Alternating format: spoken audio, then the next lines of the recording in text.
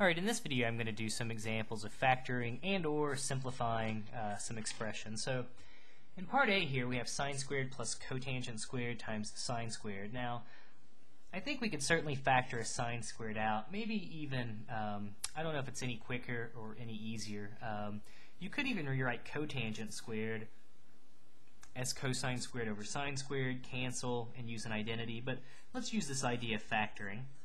So we can factor out the sine squared theta, and then we would have 1 plus cotangent squared theta.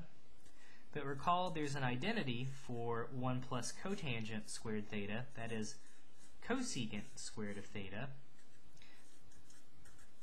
But what is cosecant squared theta? That's the same thing as 1 over sine squared theta. So really, uh, we have sine squared of theta over sine squared of theta, and that's simply going to equal positive 1.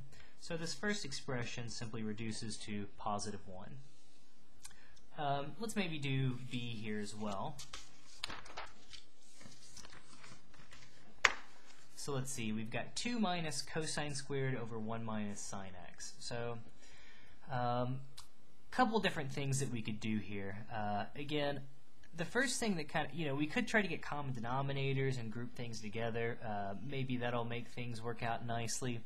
Um, I also remember, though, there's a uh, relationship between cosine squared and sine squared.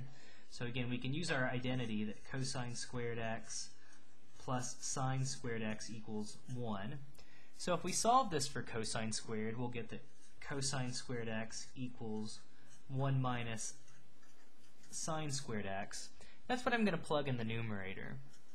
So we would have 2 minus, well, 1 minus sine squared x over 1 minus sine x. And, you know, why, why does this help? Well, um, I recognize that this numerator is the difference of perfect squares. We can now simply factor this numerator um, a little bit. You know, and kind of think about, you know, sort of equivalently, if this was like 1 minus x squared. You've got 1 minus something squared. How does 1 minus something squared factor? It factors as well 1 minus x and 1 plus x. Again, it's a difference of perfect squares.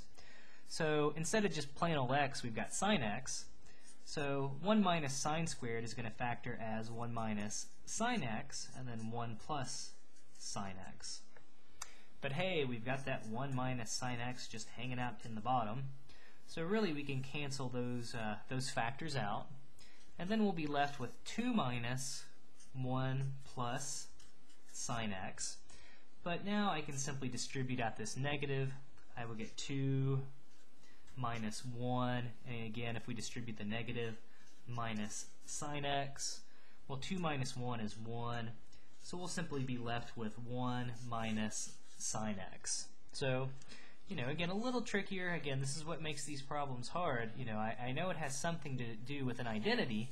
Um, it's got something to do with an identity, but it's just sort of, uh, you know, where do you use it and when do you use it? And sometimes once you use it, you know, maybe it's not readily, uh, maybe you don't see that this factors immediately, but, uh, you know, again, you just kind of have to get your hands dirty, play with things a little bit.